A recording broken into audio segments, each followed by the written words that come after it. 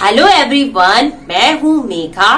सबसे पहले मैं आपको क्लियर कर दूँ, आपकी ट्विंस प्रेगनेंसी का फ़र्स्ट ट्राइमेस्टर होता है, वो वन वीक से लेकर के ट्वेल्व वीक्स तक का होता है। एट वीक्स कंप्लीट होने तक आपके ट्विंस बेबी लगभग वन ग्राम के आसपास हो जाते हैं। और नाइन वीक्स तक आपके बेबी लगभग तीन ग्राम के आसपास हो जाते हैं। और टेन वीक्स तक आपके बेबी लगभग पाँच ग्राम के आसपास हो जाते हैं। और इलेवन वीक्स तक आपके बेबी लगभग बारह पॉइंट पाँच ग्राम के आसपास हो जाते हैं। और ट्वेल्व वीक्स तक आपके बेबी लगभग बीस ग्राम के आसपास हो जाते हैं। और ये बच्चों का एक एवरेज वेट है एंड इसके अलावा आपके ट्विंस बेबी का वेट इससे कम ज़्यादा भी हो सकता है और उसका रीजन होता है क्योंकि फ़र्स्ट ट्राइमेस्टर में आपको बहुत ही ज़्यादा वोमेटिंग होती है, महक लगती है एंड कुछ खाने का मन नहीं करता है। तो इस वजह से आपके बेबी का वेट थोड़ा बहुत कम ज़्यादा भी हो सकता है। तो आपको इसमें बिल्कुल भी चिंता नहीं करनी है। जैसे जैसे आपका टाइम बढ़ेगा तो आपके बेबी का वेट भी बढ़ जाएगा।